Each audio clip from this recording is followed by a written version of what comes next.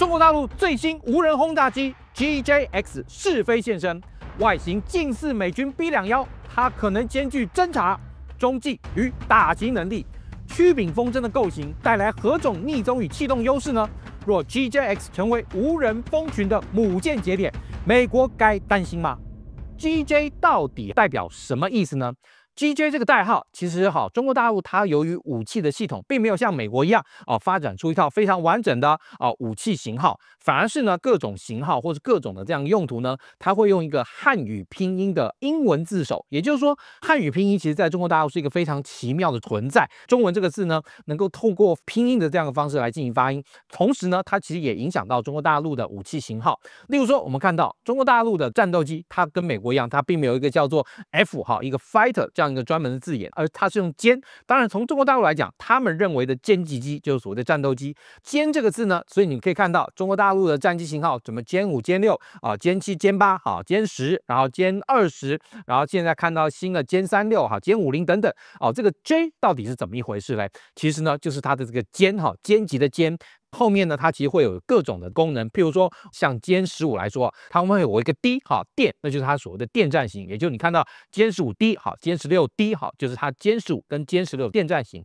那因此，中国大陆这个叫 GJX 的这个飞机呢，GJ 哈，它本身啊就是所谓的攻击哈。为什么？你可以看到过去中国大陆有非常多的无人机啊，都是采用 GJ 哈这样一个哈字首。那 G 就是攻，J 好及汉语拼音的这样字首，所以它就变成攻击。以像美军来说的话，美军的无人机的编号，比如说 NQ 就是 multi-function 多功能，RQ 就专门侦察攻击机。好，所以中国大陆这架神秘的这个 GJX 的翼展呢，竟达到四十二公尺，宛如美军的这个隐形轰炸机 B 两幺。那它真的可能是中国大陆隐形版轰炸机吗？至于这个部分来说，它未来极有可能会是轰二零轰炸机的无人中程僚机，因为。如果说今天中国大陆它直接开发了轰二零，我相信它也一定会开发他们属于自己的轰二零的有人跟无人版，有可能是同时并行开发的。因为毕竟现在这个轰二零轰炸机还没有正式对外官宣啊，在没有正式官宣之前呢，我们也是对它可能的开发方向啊，因为中国大陆它非常的这个实用主义，也就是美国开发了什么样类似的这样的武器产品呢？中国大陆很可能也会开发一个类似或对应的这样一个产品，当然不见得百分之百，但是可能性极高。所以在这个情况下，轰二零未来极有可能也是。开发同时有人版跟无人版，但是其实好，中国大陆也非常理解的一件事情，就是今天毕竟你如果要跟美国爆发全面的这样的决战，它所需要储备的这样个武器啊跟装备的这个数量绝对要高于美军，因为毕竟以美国来讲，美国基本上是一个全球部署的这样的军队，它的确有可能说在面对中国大陆，可能在一时半刻之间，它在西太平洋地区的这个军力，或甚至于它在太平洋地区的军力没有办法完全压制住共军的话，它有可能要从它其他的这个地区。啊相对安定的这个地区调用军力来啊进行持续作战，但这个时候中国大陆有可能在这个情况下，他自己本身的军力会被美国消耗一定程度之后呢，这个时候他可能也需要啊更多更多的这样的装备。其实如果对中国大陆来讲，轰二零跟轰二零的中程僚机啊，在开战后数量不足的话，更新的。GJX，也就是 GJX 这样一个大型无人机呢，也可以担任轰二零的中程僚机，相对来说就大幅扩充了轰二零这样一个机队的这个整体啊潜在效能了。好，当然你可以看到美国 X 4 B 跟中国大陆的 GJX 都采用所谓的曲柄风筝啊，呃，就是 cracked kite 这样一个设计。这种设计其实当然对雷达逆中心跟气动力都有优势的。也就是说啊，基本上来说哈，美国它当时哈设计 X 4 7 B 啊，使用这种曲柄风筝的这个概念呢，它本身啊可以让这架飞机啊，包含整个机身加上机翼，都成为它这样一个浮力的部分，让这款飞机呢，它本身在操作的时候呢，哦，尽量的节省油料。因为其实对于无人机来讲，节省油料它本身也是一个非常重要的事情。因为节省油料代表它透过飞机上装置的这个喷射发动机，可以让这款飞机在空中滞空的时间大幅延长。因为你越省油，然后呢，再加上你整体的这个气动力外形，让整个空气中对这个无人机产生到足够的浮力。而且又还能够兼具操控性，也就是说，曲柄风筝这个构型呢，它既好能够提供足够升力之外，它本身啊，由于也还有控制翼面啊，相对来说，算跟整个非翼型比起来的话，算是啊有比较小面积的这样的主翼，但是呢，它还是可以提供相当良好的操控性。所以也就是说，曲柄风筝基本上是一个兼具浮力，能够让飞机大幅的省油，再加上哈，其实又能够啊兼具良好的操控性。所以对于 GJX 这个飞机来讲，它未来是一款呢兼具长航时的这样的能力，以及哈良好的这样一个操控性，二者哈合而为一。所以其实啊，我们刚刚讲到这种就是所谓的曲柄风筝啊，美国 X 4 GB 它在吹风洞的时候发现了这个优势之后呢，同样中国大陆的这个 GJX 在开发的过程中，也从吹风洞的过程中啊，发现了曲柄风筝这样一个气动力外形所具备的这样的优势，自然而然的它也就会使用这样的曲柄风筝啊这样一个外形。那当然 GJX 啊跟中国大陆现有的无侦八、无轰七好跟攻击十一这些啊飞机啊在作战定位上有什么不一样？其实当然以无侦八来讲，它现在我们可以看到它基本上就是一个非常非常清楚的，它它就是一个无人侦察机，而且它注重它这个高空高速的这个性能。它希望高空高速的性能能够带来什么样的结果呢？因为我们知道，今天在地球上来讲，其中中国大陆其实在大气层中啊，近地的这样一个轨道中啊，也部署了相当多的军用的侦察卫星。但是军用侦察卫星由于本身它并不是所谓的同步卫星，它都是属于低轨道卫星。那低轨道卫星如果今天它调集的这个速度跟时间呢，还是很有可能会在哈它的目标区上空形成了一个时间性的这样一个所谓的叫卫星时。什么叫卫星时呢？就是今天你地球在这里，中国大陆因为本身它分布在这个东亚地区，因为低轨道卫星大概差不多以九十分钟啊环绕地球一圈，它能够在目标区上空能够待的时间大概差不多十五分钟左右，所以就是它不见得能够对它一个重要目标区能够形成完整而且长时间的这样一个好卫星覆盖的话，这个时候无侦八就显现出它的一个机动优异性了。也就是说，因为它会比一般的无人机的高度更高，然后地对空的防空系统更难拦截，这样一个情况下，它用高空高速的方式。填补这个所谓的卫星时，因为我们刚刚讲到，以卫星时来说的话，卫星的这个速度非常快，它大概以在这个目标区上空啊，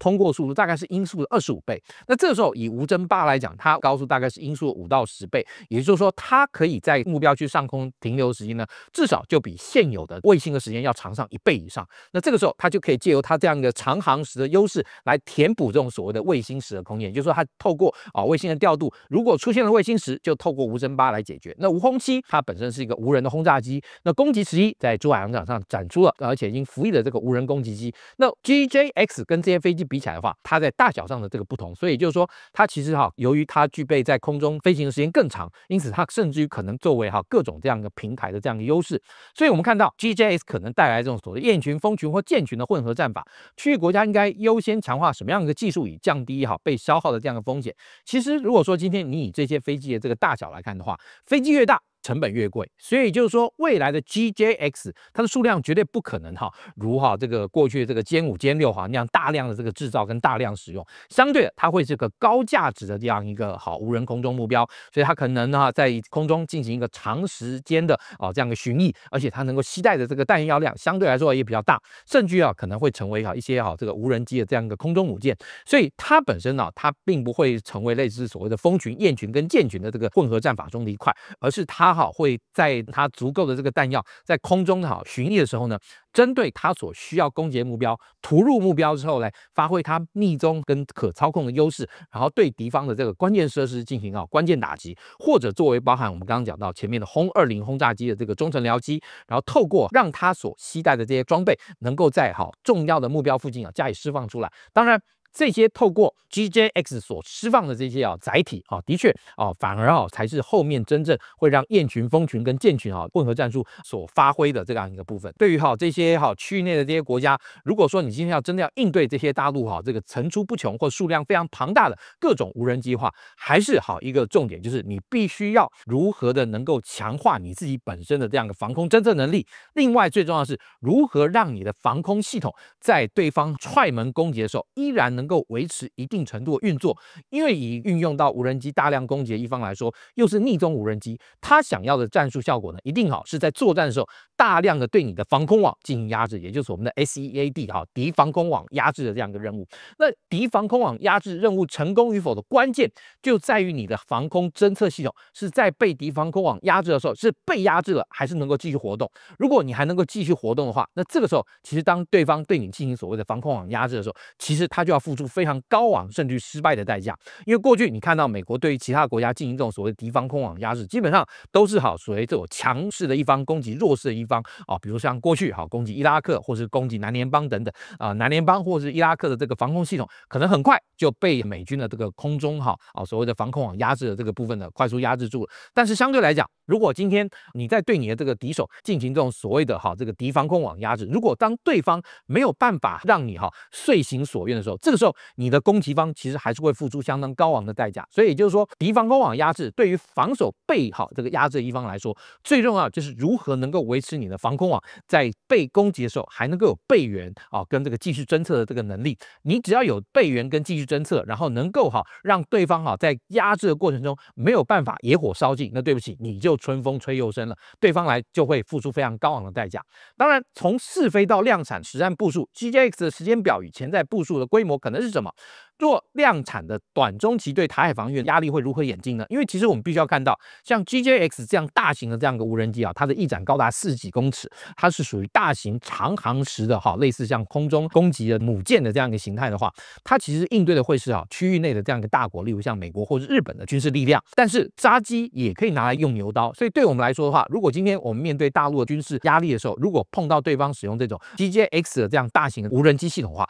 所以对我们来说，我们就必须要去强化。我们防空的这样的能力，为什么？因为在一旦开战之后，空军哈不见得有时间能够帮你去处理这些哦所谓的大型长航时的这样一个好无人机，所以对我们来讲，我们哈面对它无人机的试飞已经开始进行了，代表从试飞到这个量产服役大概差不多约三年左右时间，也就是说，未来 GJX 这个飞机啊进入共军服役大概最慢最慢大概也就三到五年之后，当然服役的速度也还是要看它的这个产能跟哦实际他们在做计划中啊所需要达到这个规模哈才。能够知道，当然这个部分来讲，我们可能相对来说比较没有办法啊，能够获得它哈对外具体公布的这样的信息。那不过如果有的话，对我们来讲的确好会在压力上就会非常的大。好，那当然 GJX 若成为多任务平台，侦察加打击，解放军会如何在电子战、卫星链、海军与空军之间分配角色？这个题目我将会在我们会员专属影片中为各位资深军迷回答，请订阅频道。加入会员，解锁更多军武会员专属影片，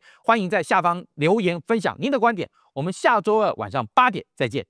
各位观众朋友，还记得我们上次 F 十六号那一集的节目中有曾经要跟大家说，洛克希德马丁公司提供我们几个小礼物，我们在节目中可以跟各位观众朋友抽奖。现在各位观众朋友。引颈期盼、期待已久的抽奖活动，我们现在就要为各位正式开始了。现在就看我来巧手一抽，然后抽出来之后呢，就可以帮大家来马上揭晓是哪几位我最喜欢我们这节节目里面的观众朋友可以抽到这神秘小礼物。预备，抽！好，我们一共有三位中奖者就产生了。第一位呢是哈 A Time 一二二六，好，我最喜欢军武大官，好，恭喜您抽中。第二位呢，哦，是 Sam Chen，好，那观众朋友他你也顺利抽到了这一期节目，好，另外还有一位呢，哦，是 ST 六零八零二，好，这三位幸运的观众朋友抽中了我们这一次啊军武大官所提供给你的好幸运小礼物，希望你会喜欢。如果今天啊，共军进行这种是折返的我。